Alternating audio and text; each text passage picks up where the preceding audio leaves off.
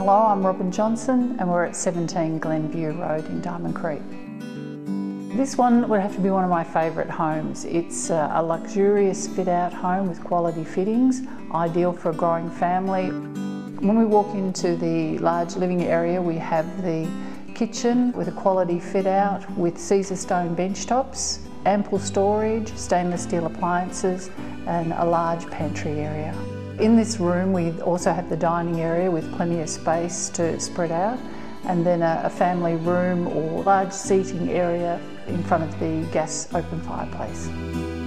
The best features are huge bedrooms for the children with built-in robes and your, your large rumpus area.